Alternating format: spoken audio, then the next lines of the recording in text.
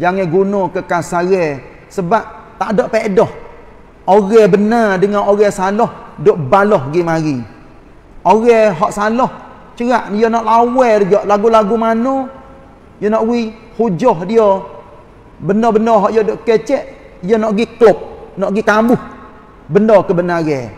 Tapi Allah Taala royak di dalam suratul Isra haqq wa zahaqal batil innal batila kana zahuqa. Katakanlah hai Muhammad ja'al haqq kebenaran sudah pun datang. Wa zahaqal batil dan benda batin akan hancur. Lama banget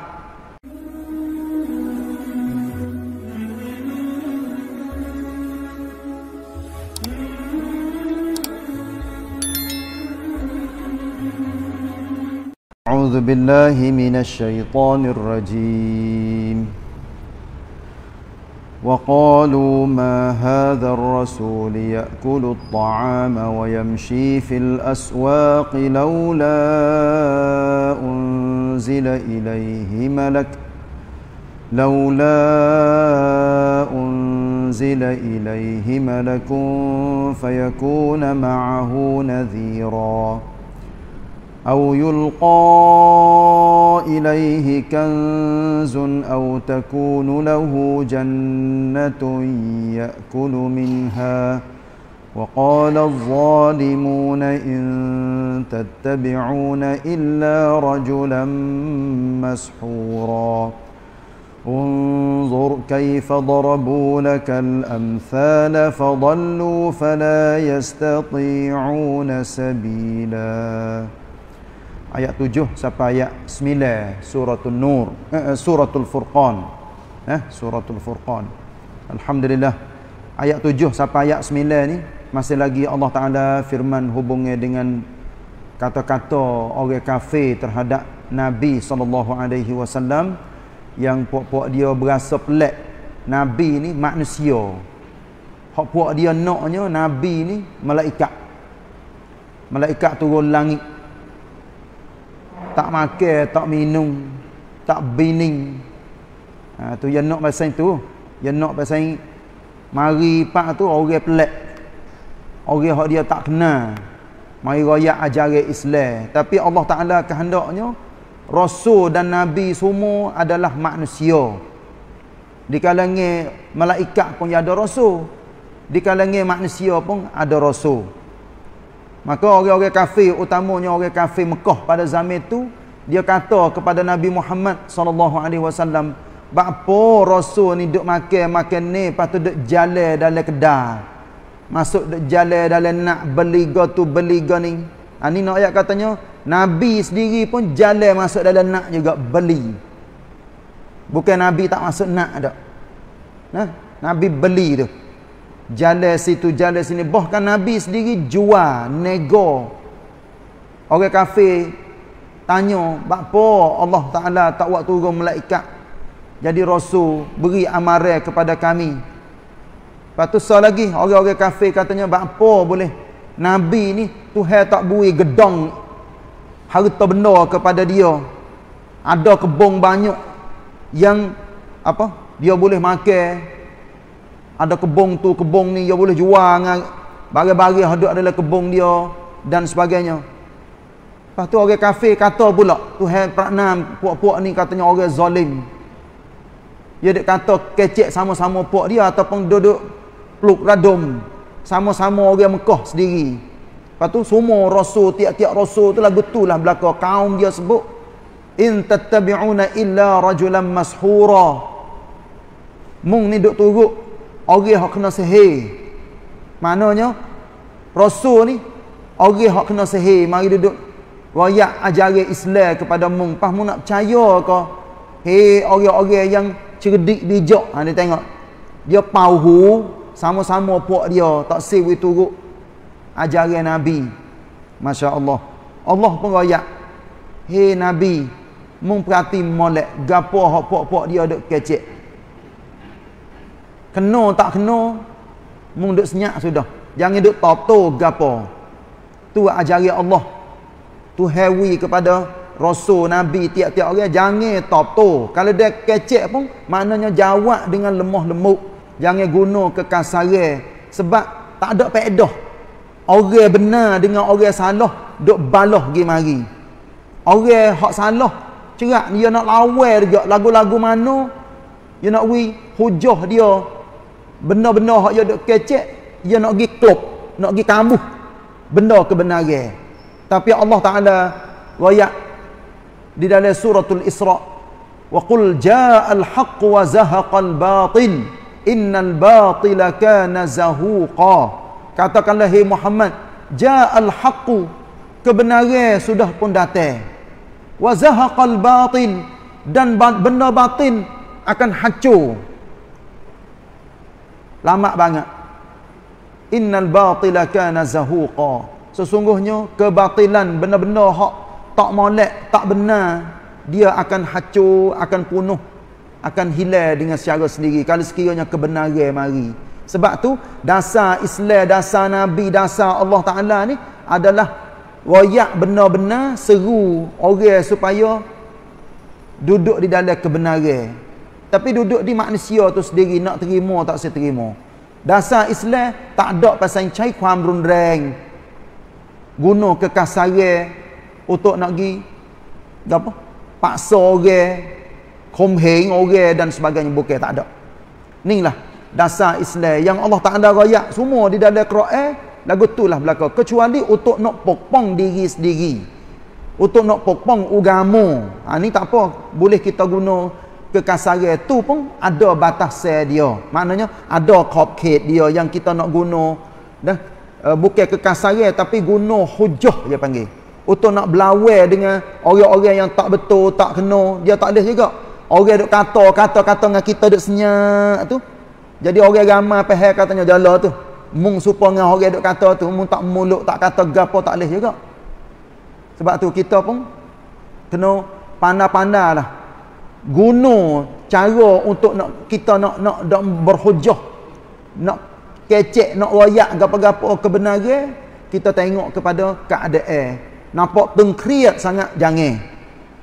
Bo nampak kata reda molek ha kita usaha bui kebenaran kepada orang sikit sikit sikit sikit. Insyaallah lama-lama dia akan jadi kebaikan yang menyeluruh.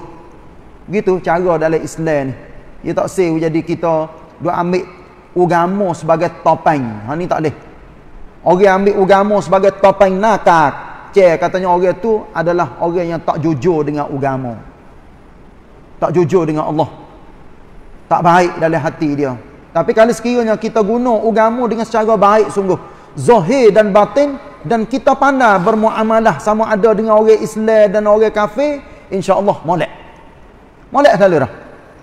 Ha ni duduk di atas siapa yang Allah Taala beri kebijaksanaan kepada dia maka insya-Allah orang tu molek eh, cara hidup dia.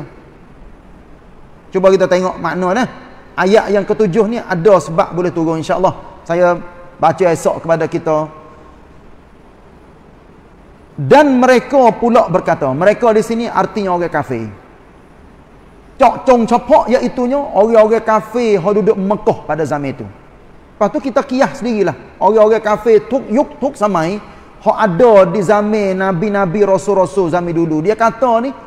Pensi yang dia bukan. Iaitunya. Rasul-Rasul ni. Gila. Pecah belah. Kena sehir. Ahli nujung. Apa lagi? Banyak. Hak dia boleh kata. Dia kata habis. Berak, berak, berak, berak, berak. Dia kata. Tapi Nabi dan Rasul. Duduk dia.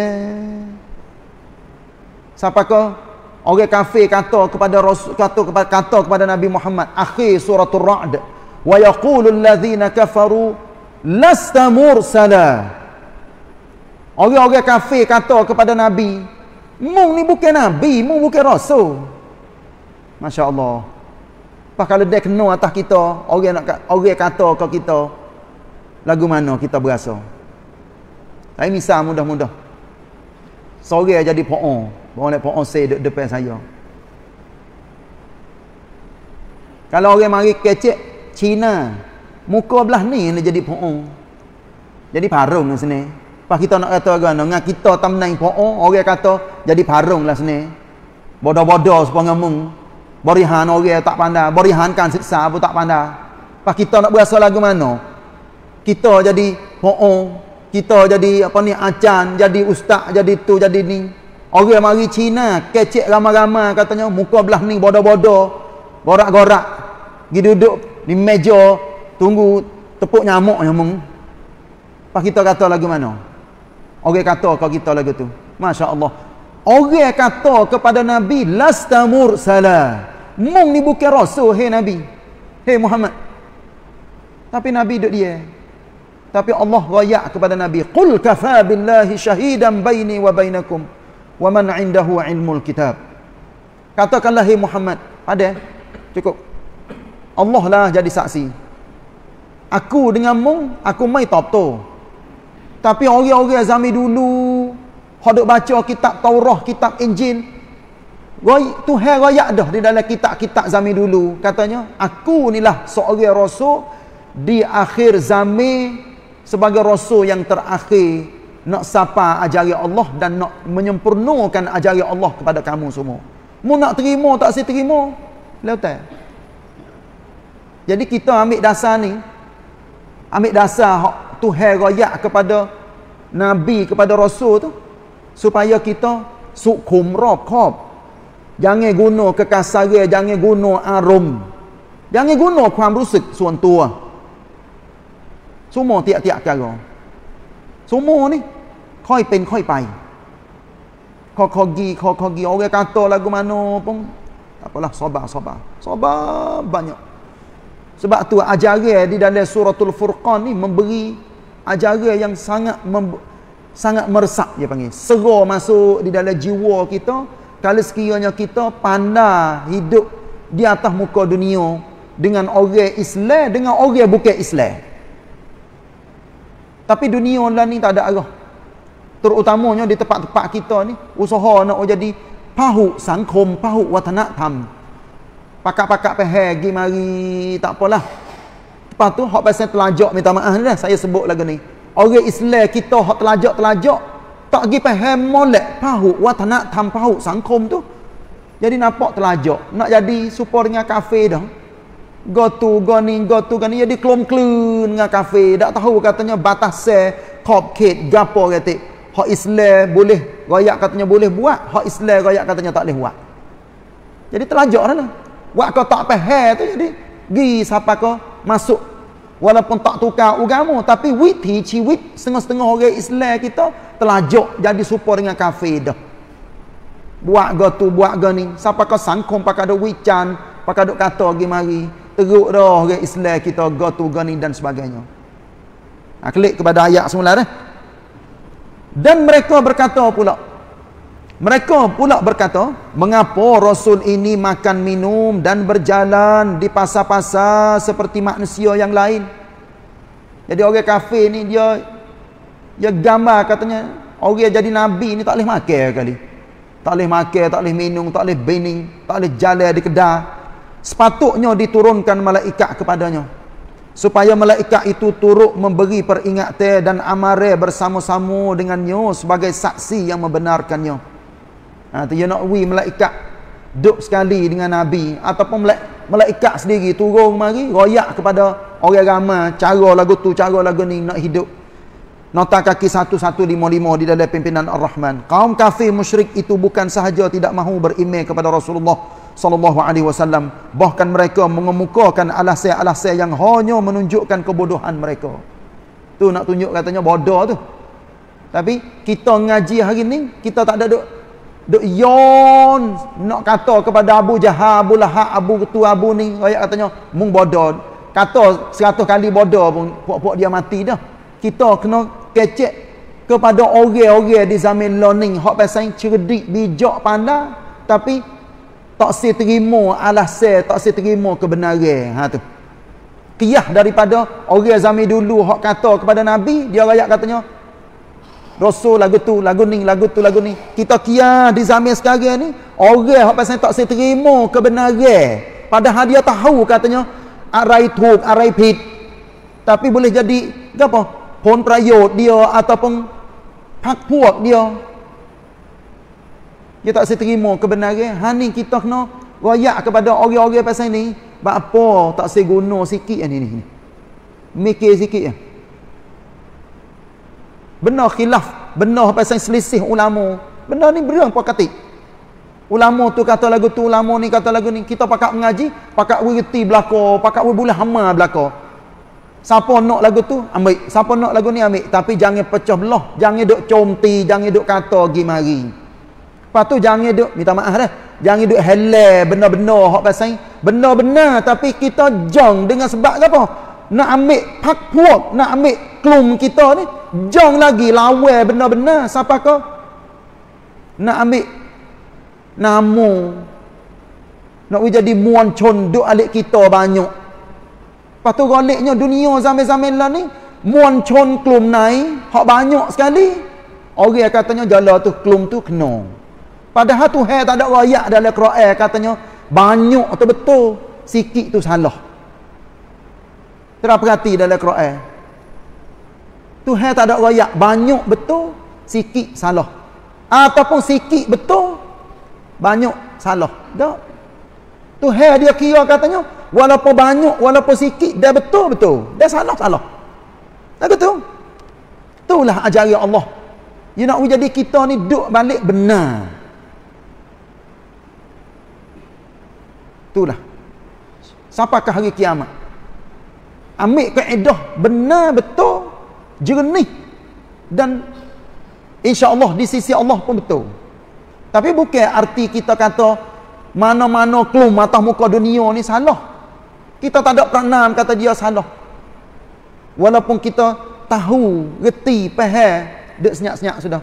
Jangan duk comti, jangan duk kata, jangan duk kosek. Saya banding mudah-mudah air kalau kita tengok duduk dalam payah tu jangan kita duduk pergi kocok nak wikuh. Kita tahu katanya ada kedodok, ada lumuk duduk dalam tu. Tak apa, cebok pandai-pandai sudah. Cebok sikit-sikit, sikit-sikit air lama-lama je habis, habis, habis. Dia tinggal kedodok, dia tinggal apa? Lumuk-lumuk duduk dalam tu. Tapi kalau dah kita pergi kocok geru geru geru geru, habis air sote payah, kedodok cuma habis. Lepas tu nak cebok masa tu, mai maksum, mai somkuan. Gitulah saya misal mudah-mudah. Cara hidup kita dalam sangkum tuk sangkum. Lagu itulah banding supaya dengan air hok kedodok cema-cema duduk dalam payah. Tapi kalau dia kita kang video takon dia turun kita boleh ambil air hodok di atas. Ikutlah nak nak banding pokok kayu ke piramid ke ikut boleh belaka tersedih ni tersedih yang orang buat untuk nak jadi bandingi. Katanya tuk sangkum supaya dengan pokok kayu. Ikut. Supaya dengan apa? Ujian turun daripada langit. Ni tu hemisa banyak dalam dalam dalam dalam Quran dia. Cara hidup manusia ni supaya dengan ujian turun ke langit. Tu apa ni? Turun dari langit ke bumi. Yang menghijaukan ke apa? Pokok-pokok kayu. Lama-lama hiau hang. Mampu tumbuh semula pula. Lagu tu lah. Tu herayak dalam Quran nak jadi kita pakak-pakak faham. Nah, saya baca sikit lagi nota kaki alik bawah. Lepas tu terjemuh so ya hari, hari ni. Pertama, apa? Kata mereka Rasul itu makan minum seperti manusia yang lain. Kedua, ia mem, memberi apa? Membeli belah di pasar seperti orang lain. Yang ketiga, sepatutnya Rasul itu dari malaikat atau diturunkan malaikat kepadanya untuk memberi syarah bersama-sama dalam menyampaikan perintah Allah itu. Ha tu gambar orang kafir ya rab mai dai dengan rasul nabi ni manusia. Ya naknya manusia. Itu ya naknya rasul malaikat tak makan, tak minum, tak tidur. Ha tu barulah ya akak tangi katanya lagu ni lah. Tapi kalau dah kita tengok dalam suratul Isra hal lepas mari dah masya-Allah. Pok-pok dia royak katanya nak berimej kepada Nabi boleh. Aku tak percaya kepada mung hey Muhammad sehingga mu naik langit. Tengok. Sehingga mung naik langit mu buat turun apa? Benda-benda hak pelik. Ada mah ada perak ada harta benda banyak. Mung duduk di atas muka dunia ni ada kebun yang banyak. Mung kaya ada orang tino ramah gotu gani barulah aku nak percaya. Semua tu dia panggil torong hak pasal menipu belaka. Kecek mulut saja Tuhan pun ayat akhir ayat katanya, puak-puak ni kecek saja, dia tak ada nak berimeh ni.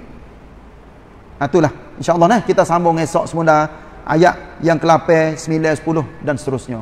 Wallahu a'lam wa sallallahu ala nabina Muhammad wa ala alihi wa sahbihi wasallam. Wassalamualaikum warahmatullahi wabarakatuh.